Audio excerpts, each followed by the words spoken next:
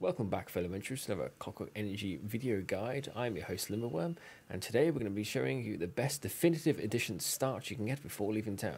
As you can see our equipment is pretty good. We had a decent amount of RNGesus on our side, not a crazy amount though. And uh, yeah, it was it was quite good. As you can see we've even got some potions which is 20% and below chance of getting. The stats and stuff will be shown in this video and we've got a decent amount of skills and health and resistances before we even leave town. Now follow through and enjoy the video. So, you've created your character. Ignore that ghost, that's part of one of my mods.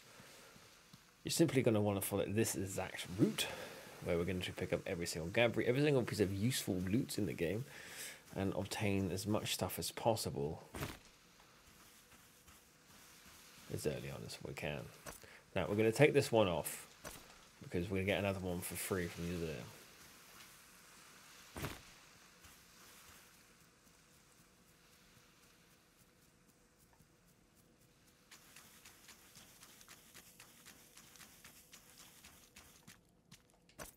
Get our fishing pole. It's going to be our main weapon to start off with. We're only going to pick up the stuff we need to start off with. So we're going to come up here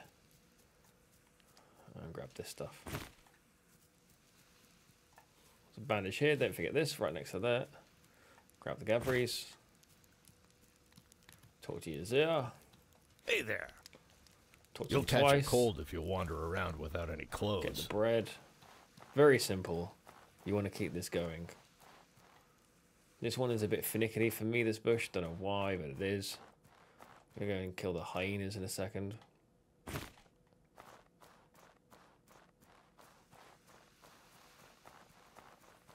The reason we're using the spear, well, the, the fishing pole,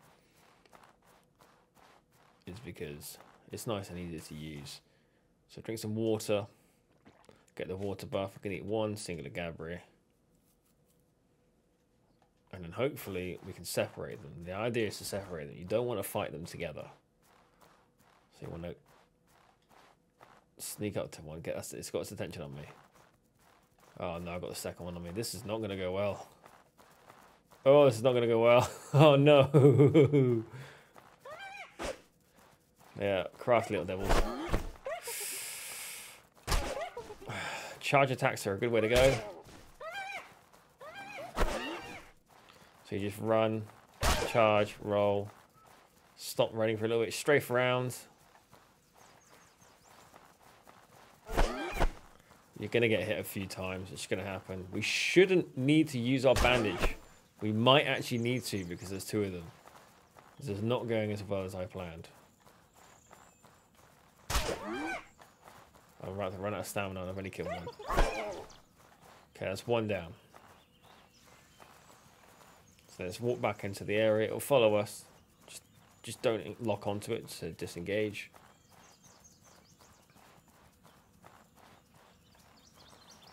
Okay, right now. One, take the hit. Two, three, dodge. One, two, dodge. Power hit, dodge. That was very close. Power hit. That was extremely close.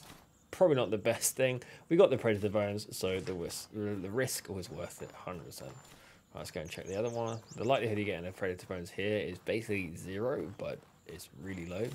Oh my god, we actually got predator bones. This is wow. This is um. That is ridiculous. Now we're gonna start losing the rest of the stuff. Did I grab the? Huh?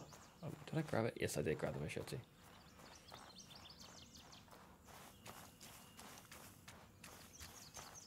Don't forget your pickaxe. The pickaxe is super heavy, so we're gonna equip this. We're going to decon our chest piece. So we can move better. Don't worry about healing yourself. You're not going to need to heal yourself at all at this point because you're going to sleep in a minute and you're going to get rid. Of that was pretty close. The idea is if you can't get the fangs, you can still get a decent start, but you can get a better start. I just got RNGesus, like god tier start, to be honest. I don't know how I could do it any better. Deconstruct any cloth stuff. Do not consume the cloths for making varnishes or anything like that. Uh, the, the rags, the elemental rags, just don't waste it. We're going to grab obviously all of the all of the gaberries and all the seaweed. Ah, beetles, nice.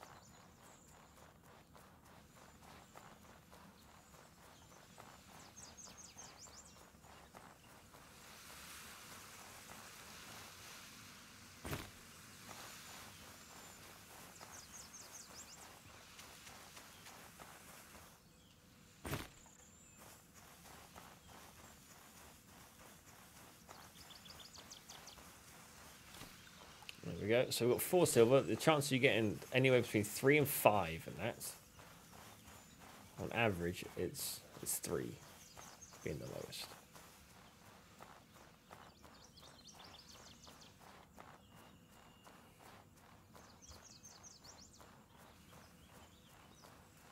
Okay, we've obtained everything we can get. Right. Let's go to sleep for an hour. And then get going into our house.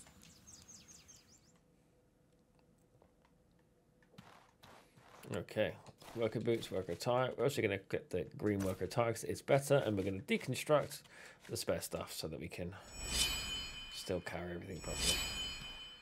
Right, we're going to put our backpack on. Which down here, your primitive satchel. You're going to want to put your gaberries in there, so move the bag. Any weapons in there. Uh, you're going to put a seaweed in there as well, and you're going to put the cloth in there as well as those are the things you're going to be picking up the most. Now, complete RNGs in here, that's not too bad. Could have had worse. Don't forget to loot everything in your home.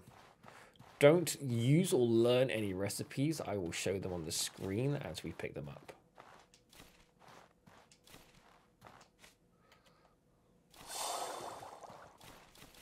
Pick everything up. Okay, now we're going to craft some jam from the current gaberries we obtained. Also, we got the bread, 10 out of tartine. Nice, easy stuff. Don't have any water yet or anything like that, but I can't believe we got two lots of predator bones. That is amazing.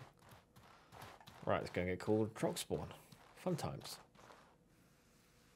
Rise and shine, trog spawn. Piss you off. think you can nip off A blood price. Yeah, enough of. I said you heard, mother.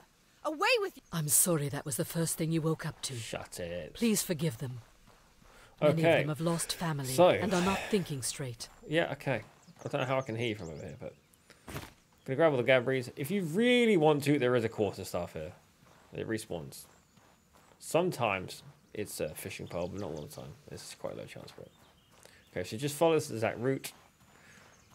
Majority of the stuff on this route will be guaranteed, besides anything in the junk boxes and the chest that I'm going to show you in a second. This everything will respawn every seven days, so you can do this route every seven days if you wish to get some quick cash.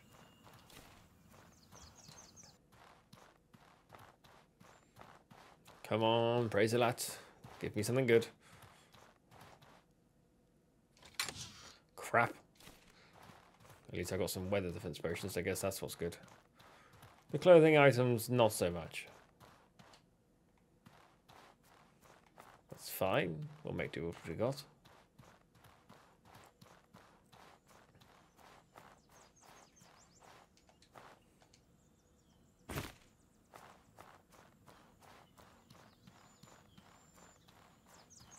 Don't stray from this route, otherwise you will forget stuff.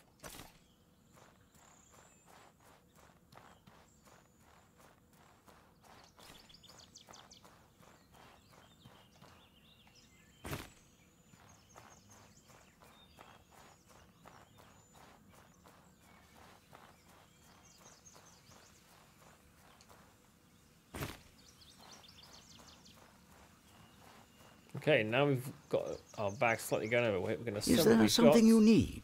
Yes, indeed. So duplicates of things, of things that uh, don't need to be duplicates. The weapons that we've picked up, the clothing piece, not these clothes because we can deconstruct them.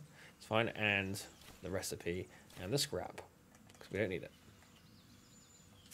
Okay, we sold that, and now we're gonna get our nomad backpack. Perfect. We're going to equip said nomad backpack if my character decides to not clip into the back rooms.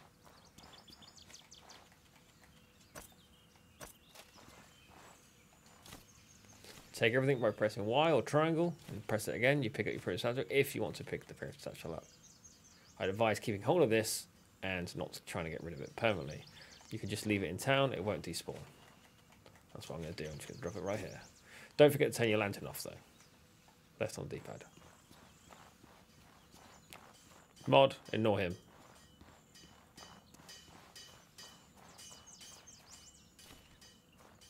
I didn't mean to of the wood. That was to the gab. Look at wreath. There's a hatchet here. Our pouch is getting slightly away from all the wood. Let's get rid of that.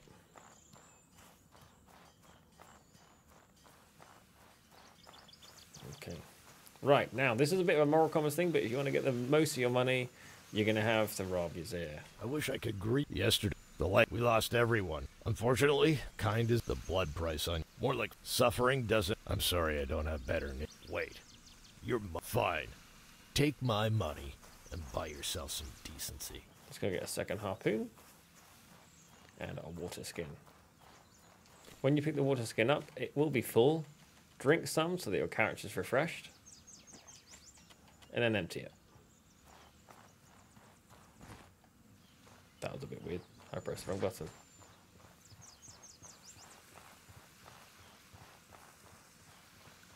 This harpoon is again will respawn every seven days. So no need to buy them.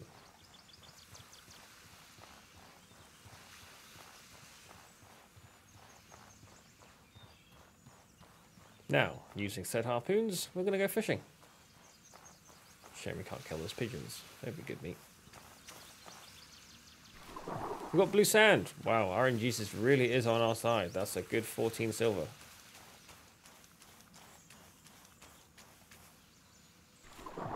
Another raw salmon. Good. Hopefully one more raw salmon. That's all we need.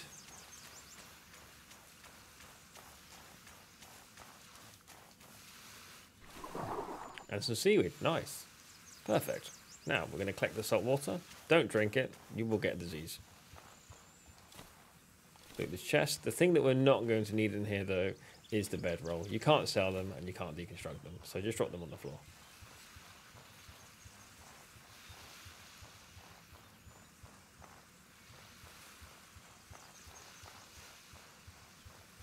Now, if we were going for the axe run, which we could do, we take the plank shield. So we have a shield from the get-go. Because one-handed axe and a shield It's very useful very early on.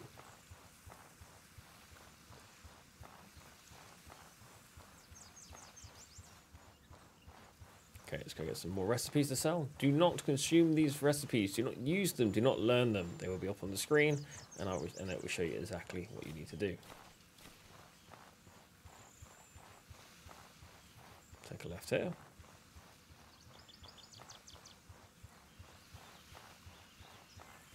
Take a left again. And down here. We go to the Cierzo storage. This again, a bit of RNG and a bit of guarantee. It's a bit of a mix between these runs. You can't really make it 100%. Okay, an extra lantern. Perfect. More flint and steel. That's like one silver, so can't deny that. Turn lantern so I can see. Ignore that. That's a part of a quest for a DLC. DLC. A mod. Sorry. Come on, Alat. Give us something good. Crap. And there's another pickaxe here.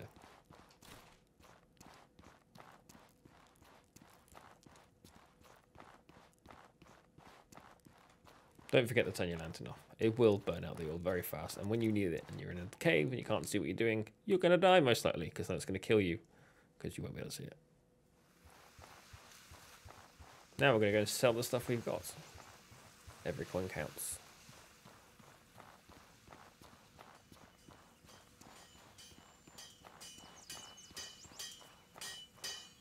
What can I do? All right. Okay, so sell duplicates of stuff that we don't need yet again. Sell all the weapons. We're going to sell the pickaxe because we've currently got one equipped. And these two harpoons. The clothing we're going to keep. Keep the clothing. sell all the recipes. Even this potion recipe here, we will put it on the screen. So all these recipes will be on the screen at the end of the video.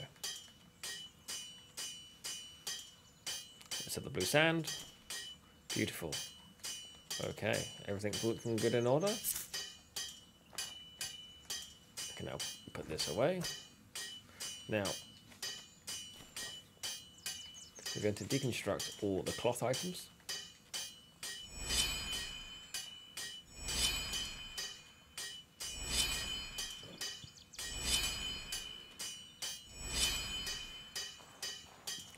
Perfect. Now I'm going to run back over to this guy. I'm going to see what armor we can put. Preferably the padded armor is what we're going to be going for because that has no negative effect. Is there something you need? So he's currently selling the padded chest and the boots. Okay.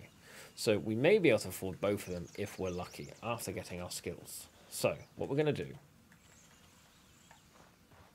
is we're going to go and pick our weapon of choice. Because we have two predator opponents, realistically, I could get the really low in chance a two-handed sword fang one. But for the video, I'm going to show you the one-handed variant, and the mo- What most likelihood of you Alright. getting is the axe. So we're going to buy the axe for 20 silver. To craft the axe, you need an iron axe, one piece of cloth, and one predator bone. And the likelihood of you getting this is actually quite high, it's a good 60%.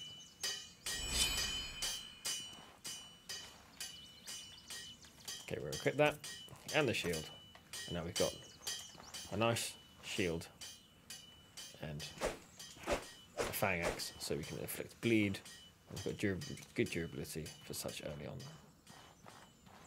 Okay. So we're going to pick up these last two gather bits.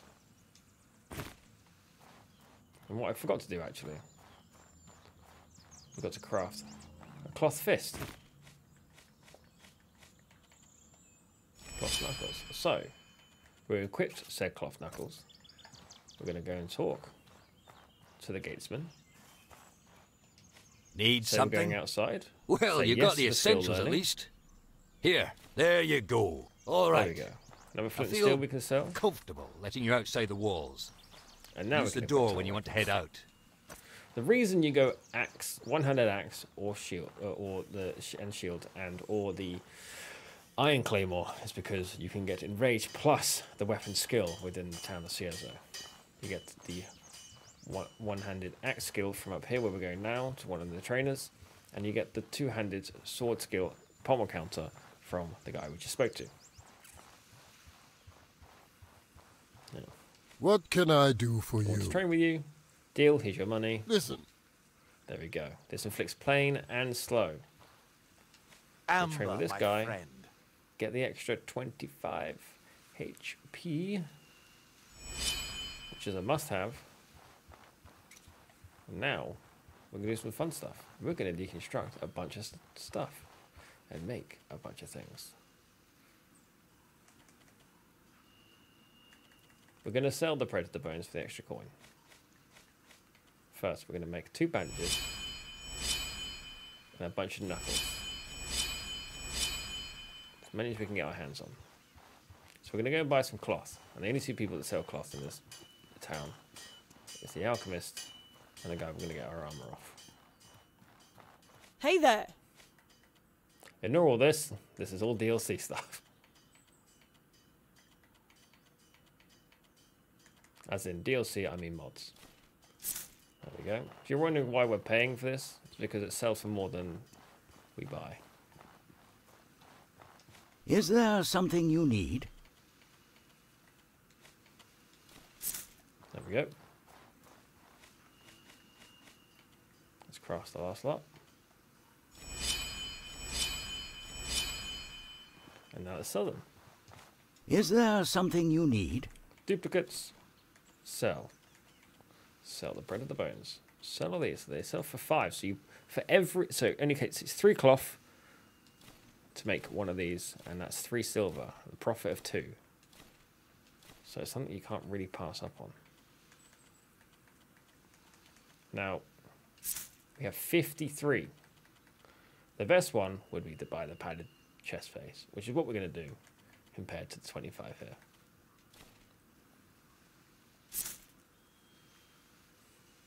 That in mind, we now have an extra chess piece, and a much better one at that. So we're going to deconstruct our old one.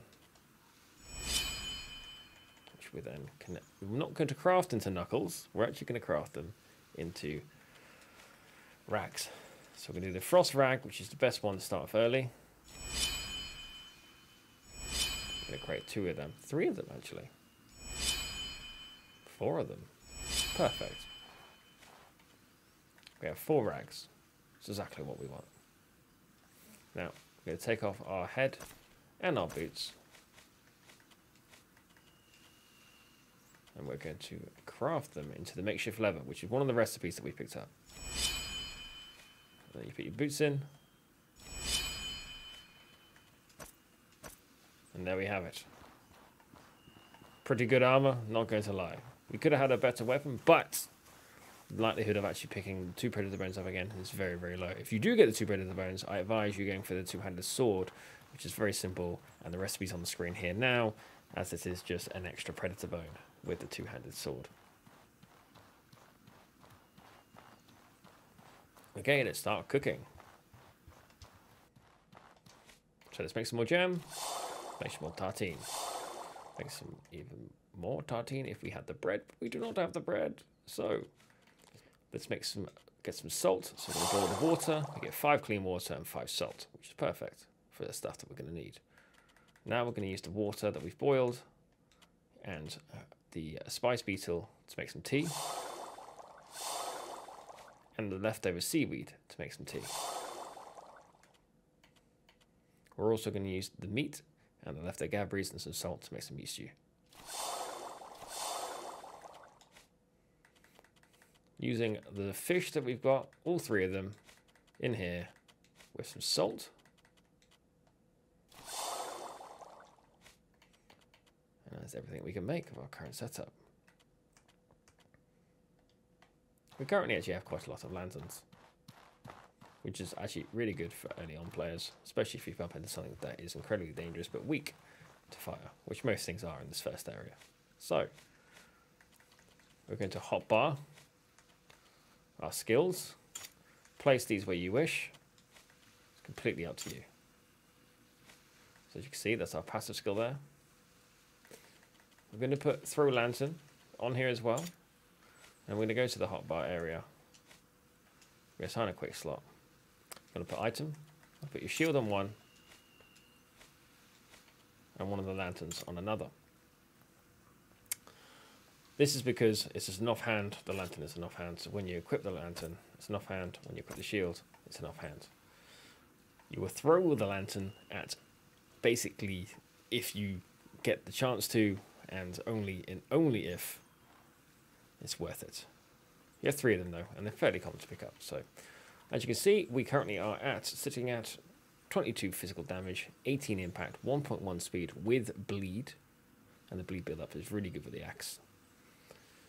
17 physical defense, 17, uh, 25 impact defense, 15 cold resistance, which is actually really good early on, to be honest. Not going to lie, we did pretty good there.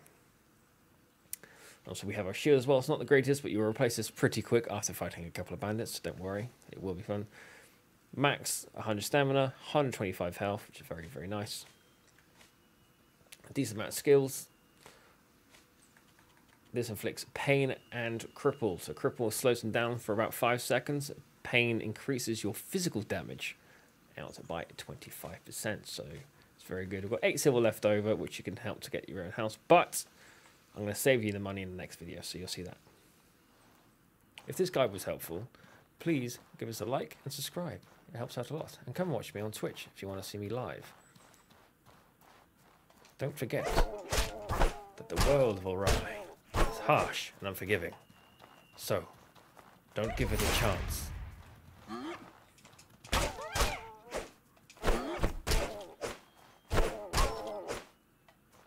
To get one up on you. Happy hunting, everyone.